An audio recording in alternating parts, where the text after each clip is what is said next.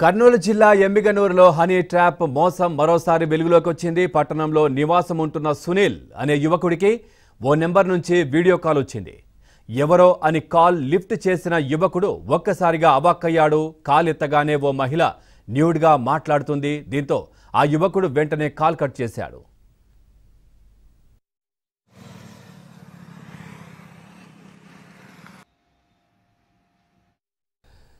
ఇక మాట్లాడిన కొద్ది క్షణాలను ఆ మహిళ రికార్డ్ చేసింది. ఆ యువకుడు మహిళతో వీడియో కాల్ మాట్లాడుతున్నట్లు వీడియో క్రియేట్ చేసి సునీల్కు పంపించింది.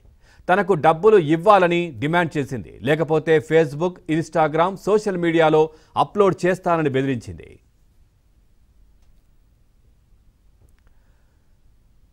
మరోవైపు సిబిఐ అధికారులంటూ మరో నెంబర్ నుంచి ఆ యువకుడిని మెసేజ్ వచ్చాయి. యువకుడికి వీడియో యూట్యూబ్లో వచ్చిందంటూ మెసేజ్లు చేశారు. వెంటనే డబ్బులు ఇచ్చి దాన్ని డిలీట్ చేయించుకోవాలని బెదిరించారు. ఇక తనను ఆ వీడియో కాల్ నుంచి రక్షించాలంటూ యువకుడు పోలీసులను కోరాడు. వీడియో కాల్ వచ్చింది వాట్సాప్లో అనుకోకుండా. నేను దాన్ని అనుకోకుండా లిఫ్ట్ చేశాను. టెన్ సెకండ్ వరకు నేను ఉన్నా తర్వాతనే కట్